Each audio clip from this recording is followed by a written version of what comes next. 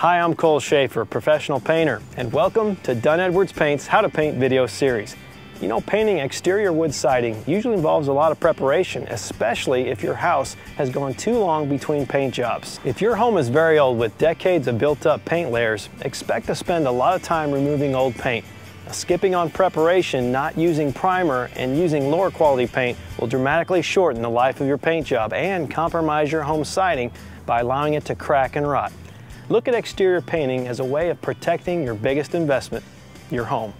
In this video, we'll share tips on how to properly prep and paint your exterior siding so you get the best results. So first, you want to look at your project and make sure you have the skill, capability, and equipment to do it because painting exterior wood siding can be difficult depending on the existing condition of your home. You may want to consider hiring a professional painter to paint your house. Now, if you do decide to do it yourself, you need to know about the hazards of lead-based paint. If your home was painted prior to 1978, it may have been painted with lead-based paint. Contact the EPA's National Lead Information Center at 1-800-424-LEAD or visit www.epa.gov forward slash lead for laws and procedures covering the removal and handling of lead paint. If you live in a newer home, lead-based paint is not a concern, but however, your project may involve power washing, scraping, sanding, and priming.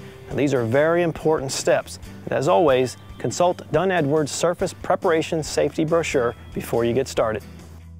Now let's begin by checking the surface for chalkiness. Run your hand over the siding on the sunny side of your house. If a chalky residue comes off in your hand, you may need to power wash the siding because this chalkiness will impair the paint adhesion. Now you can rent a power washer from your local equipment rental yard. Be sure to have the rental yard staff explain how to use the power washer and provide basic safety training. Here's a tip on power washing. Don't aim the water stream directly at the surface. Instead, use it like a paint scraper. Aim at the siding at a 30 to 45 degree angle and slowly move it across the surface to remove any loose paint. Also, be sure to protect your home by carefully aiming the water stream away from windows, doors, or any openings. This will help prevent getting water into any unwanted areas. Once the power washing is done, you may need to remove any remaining paint with 80 grit sandpaper. Then sand these areas again with the lighter 120 grit sandpaper to smooth out any rough surfaces or sanding marks. These steps will provide a smooth surface and improves the adhesion of paint and primer. So once all the prep work is done, you'll want to prime all bare and exposed siding with high quality primer, such as Dunn Edwards EZ-Prime Premium, which is an exterior acrylic primer that provides excellent hide and is ideal for wood siding. Now once you finish priming, there are a few more preparation steps to be done before you can begin painting. If any patching is required on the siding, here's a tip. When patching all exterior projects, it's best to sandwich your patching compound between coats of primer or paint this encapsulates the patching compound and protects it from moisture damage. Use an exterior spackle paste to fill in any gouges or nail holes in the wood.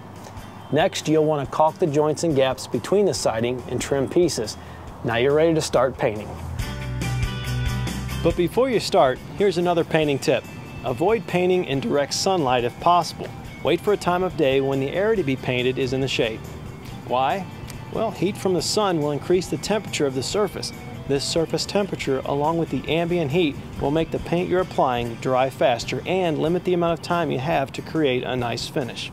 Now you'll want to apply two coats of premium exterior paint once the primer has dried.